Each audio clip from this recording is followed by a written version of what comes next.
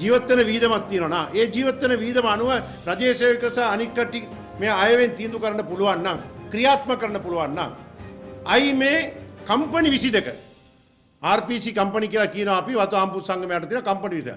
මේ කම්පනි 22කින් යට ජීවත් වෙන මේ ලක්ෂ 15 ජනතාවගේ ජීවිත විතරක් කම්පනි කටියට බාර දෙන්නේ. රජය බාර ගන්න ඕනේ. ලංකාවේ විතර මේ වතුර තියෙන්නේ.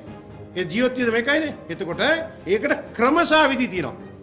වතු ආම්පුත් සංගමයට මොනරි සානාධාර දීලා එයාලා ටැක්ස් ෆ්‍රී කරලා ඒ ඔක්කොම කරලා මේ දාක් දෙන්නම් කියලා කිව්වේ. ඒකට ක්‍රමයක් අදලා දාක් දෙන්න කියලා කම්පැනිකට නියෝගයක් දෙන්න ඕන.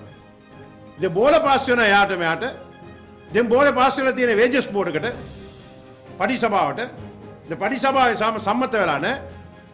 පඩි පඩි සභාවෙන් සම්මත වුණා නම් 800ක් 140ක් සම්මත වුණා නම් ඉතුරු වෙල්ෆෙයාර් සම්බන්ධව සමහර පඩි සභාවේ දාක් සම්මත වුණා කියනකො කම්පැනි එක කියයි රයිට්.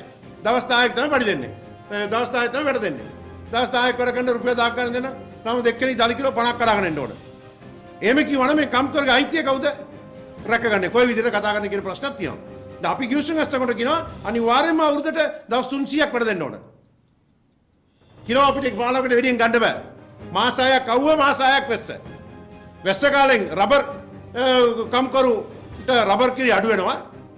දළු වැඩි වෙනවා. තේ දළු. අවුව කාලට රබර් හරියනවා. මේ රබර් වැඩි වෙනවා තේ අඩු වෙනවා. දළු අඩු වෙනවා. ඒතර මේ ඔක්කොම ගොඩක් දේවල් තියෙනවා. ඒ දේවල් ඔක්කොම සාකච්ඡා කරලා තමයි ගිවිසුම් අස්සම් කරලා මේ වතුකර අහිංසක ජනතාව නිකන් අපි මේ දේශපාලන වාසියට දාක් දෙන්නම් 1500 දෙදක් දෙන්නම් කියලා වල රවට්ලා පැත්තක දෙන්න බෑ. එහෙම කරපු නිසා තමයි එක පක්ෂයක්ම නැති කරලා තියෙන්නේ. එහෙම රුපියල් දාක් දෙන්නම් කියලා කියලා කියලා කියලා කැපිට එක අනුමතය චල්ලිත් ලැබෙන්න ති නිසා තමයි අද සම්පූර්ණ පක්ෂක් නැතුනේ කුට්ටි පිටින් මන්ත්‍රතුමාට පැරදුනේ. අපි දැක්කා. එනිසා අපි ඉතා ඉතා ගෞරයෙන් අපි ඉල්ලා සිටිනවා මෙතන දේශපාලන ආණ්ඩු පක්ෂ විපක්ෂ කතා කර නෙවෙයි. මනුස්සකම මේ වතුකර ජනතාව වෙනුවෙන් ඇත්ත කියන්න ඕන බෝඩ පාස් කරන තුර. යාට මේ දාක් දෙන්න ඕන දාක් දෙන්න ඕන. දෙන්නේ අපි අදලා දාන එකට. රුපියල් දාක් දෙන්න රුපියල් දාක් දෙන්න ඕන. රුපියල් දාක් මූලික පඩි. මේ මූලික පඩි තමයි EPF ETF වල්ලන්න ඕන. ඒක තමයි අපේ රටේ කම්කර නීතිය. එදා ආම්පුත් සංගමේ වෙලා කියනවා රුපියල් දාක් පඩි මේ EPF ETF ඔක්කොම එකතු කරලා. EPF ETF සාමාන්‍ය පෙට්ටි කඩ වෙර කරන මනුස්සයට දෙන්න ඕන.